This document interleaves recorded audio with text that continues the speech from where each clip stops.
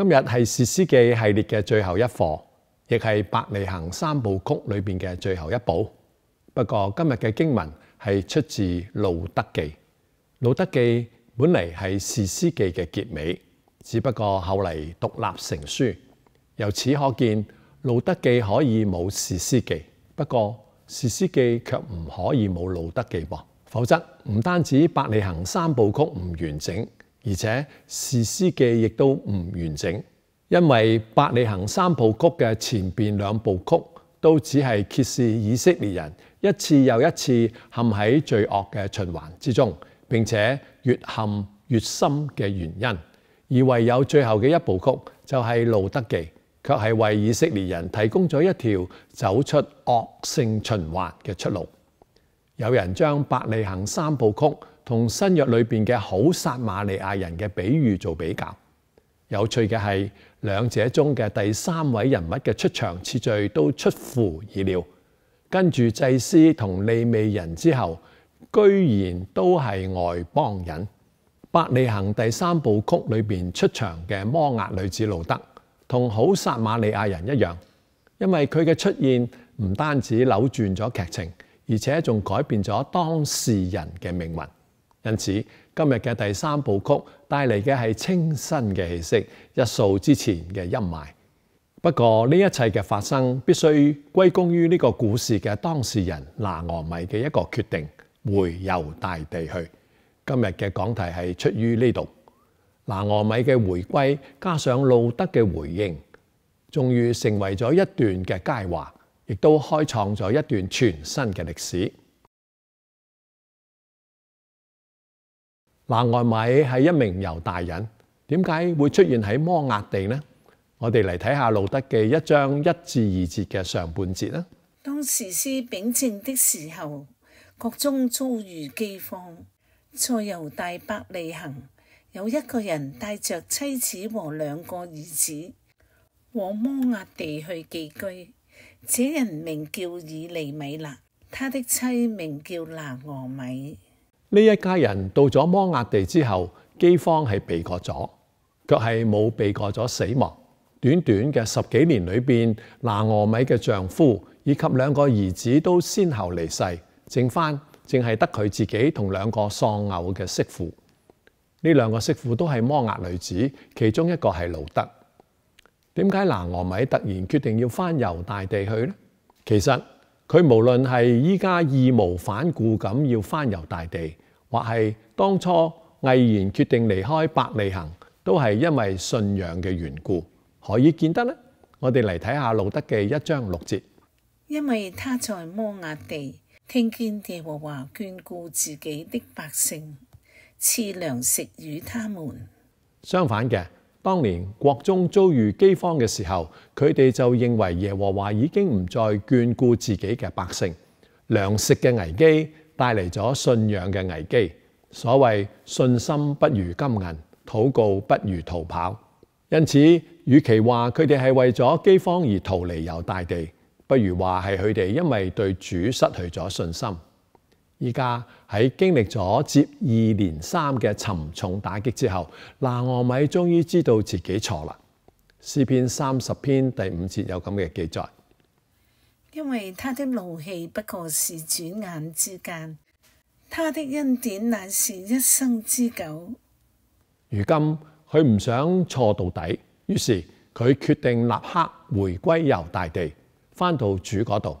當然，拿俄米知道。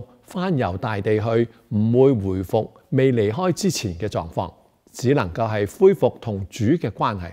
但係佢唔知道嘅係，一旦當佢踏上回游大地嘅旅程，亦即係回歸主嘅旅程，佢嘅人生就即將反轉，從此去將從黑暗死亡同咒助走向光明生命同祝福。今日當我哋遭遇困境同挑戰嘅時候，亦都可能對主失去信心，亦都可能遠離主，如同當年嘅拿俄米。但係請記住，越早悔改返到主嘅面前，你就能夠越早走出黑暗同困境。因此，回到你嘅猶大地去，呢個係你翻轉人生嘅開始。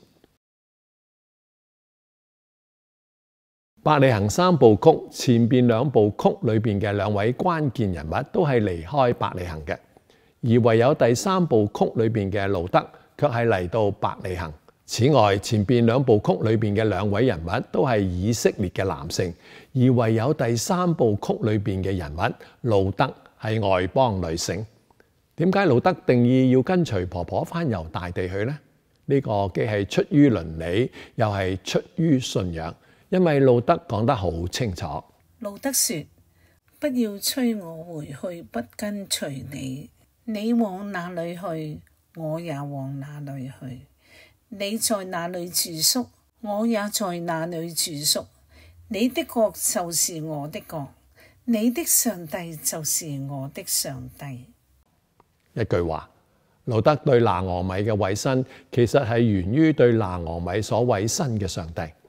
此外，路德亦都咁話：你在哪裏死，我也在哪裏死，也葬在哪裏。大多數人認定屬於邊度嘅人就安葬喺邊度。中國人亦都有句話叫做落葉歸根。路德嘅聲明同樣表示自己唔再係原來嘅外邦人，而係屬於上帝國度嘅人。我哋屬於上帝嘅人，亦都應當係咁。終於婆媳兩個人到咗伯利恆，合城嘅人都好驚訝。呢位拿俄米雖然係翻咗嚟，但係佢早已經從當年嘅開心果變成而家嘅苦瓜乾。畢竟因為親人接二連三嘅離世，佢面上邊可能好多年都已經冇咗笑容啦。因此拿俄米自嘲：我滿滿的出去，耶和華使我空空的回來。滿滿嘅出去係冇錯，但係空空嘅回嚟就錯啦。因為拿俄米只係掛住佢所失去嘅，佢係冇注意到佢所得到嘅，就係一路上定義跟隨佢嘅路德。究竟佢唔知道嘅係乜嘢呢？有這兒婦比有七個兒子還好。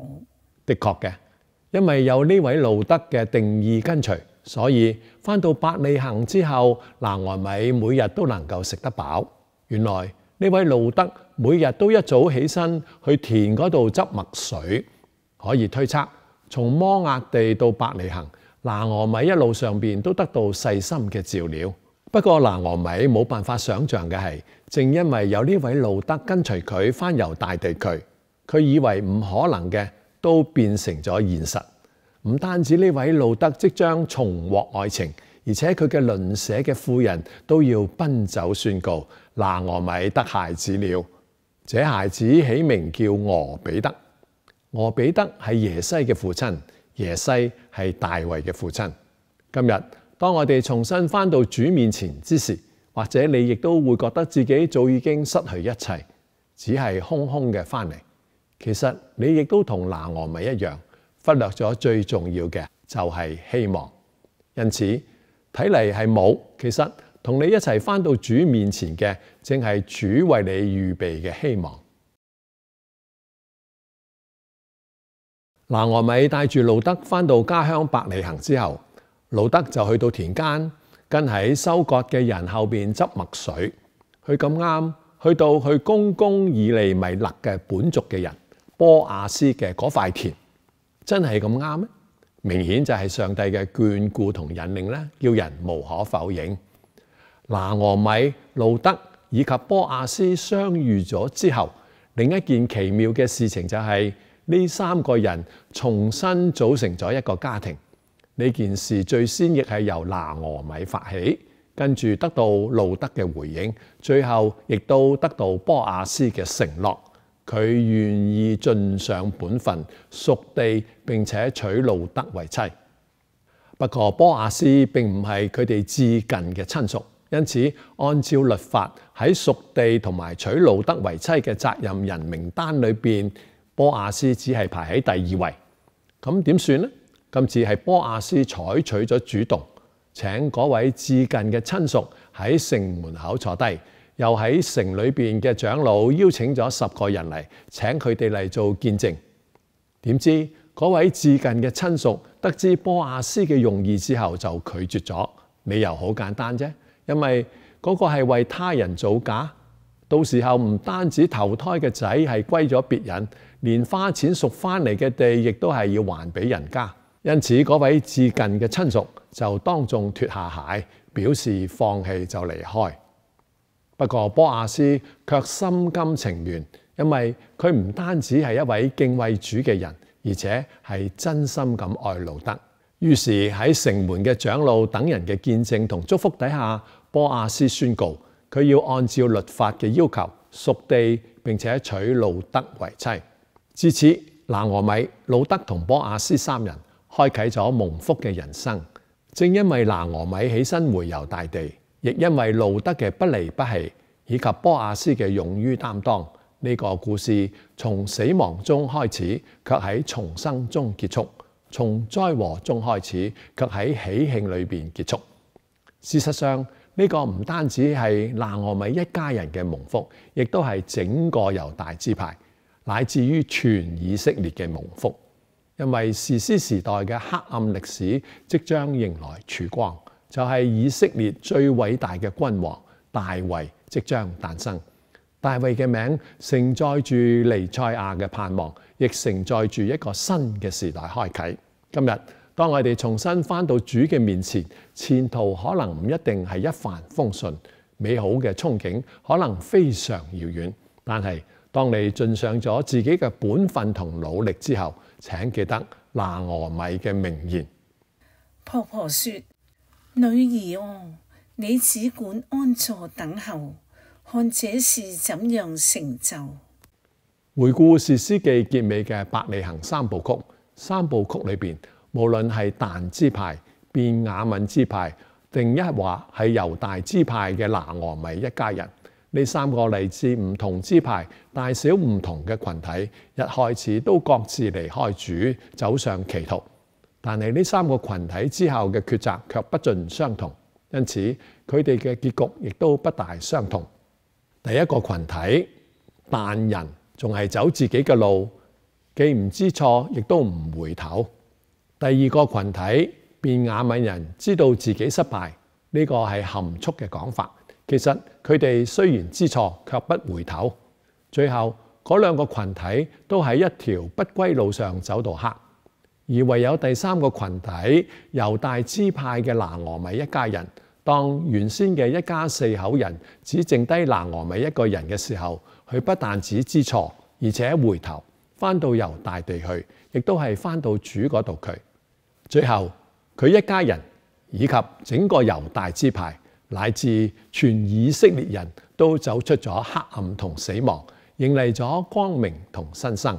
因此，以色列人要點樣先至能夠走出惡性循環犯罪之路呢？就係同拿俄米一樣，翻到猶大地區，就係翻到主耶和華面前去。呢個唔單止係士師時代罪人嘅出路，亦都係從古至今所有罪人嘅出路。畢竟人係會犯錯，最重要嘅係。犯錯之後就立即返到主嗰度去，呢個將係你全新人生嘅開始。